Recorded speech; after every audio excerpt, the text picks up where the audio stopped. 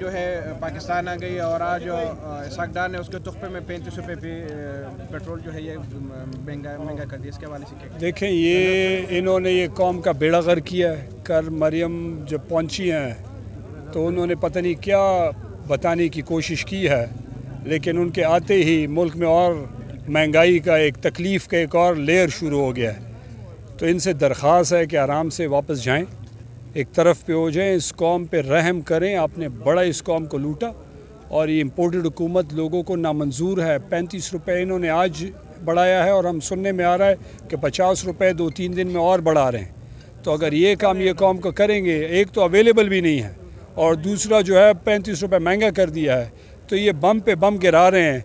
इन्होंने इस कौम का और कितना बेड़ा कर करना है? तो खुदा के लिए एक तरफ़ हो जाएँ इस कौम पे रहम करें इलेक्शन करवाएँ फ्रेश मैंडेट लें कि लोगों से लें बाईस करोड़ अवाम जिसको चाहे उसको इलेक्ट करे वो जाके इकतदार पर बैठ के इन लोगों की बेहतरी के लिए फैसले करें ये जुल्म ना करें। सर क्या एक्सपेक्ट है कि तीन महीनों के अंदर इलेक्शन होगा?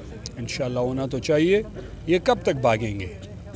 जब भी ये बक्सा रखेंगे तहरीक इंसाफ इनका मुकाबला करेगी ये 22 करोड़ अवाम इनको वोट के ज़रिए बताएँगी कि ये इनके साथ नहीं है।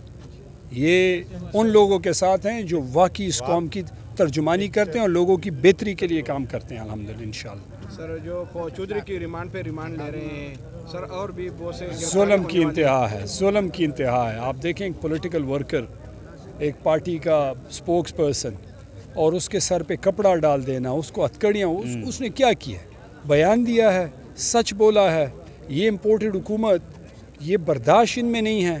ये जो इलेक्शन कमीशन को देख लें। आपका काम है इलेक्शन करवाना। आप इलेक्शन करवाएँ, आप सियासत का हिस्सा ना बने और आप जो है लोगों पे एफआईआर कटवा रहे हैं, चीज़ें कर रहे हैं। इलेक्शन करवाएँ लोगों, जो आपका मैंडेट है और लोग इलेक्शन करवाएँ ताकि लोग जाएँ और अपना हक अदा करें और मुल्क अपने पैरों पे खड़ा हो। मुल्क बुरी तरह से फंसा हुआ है।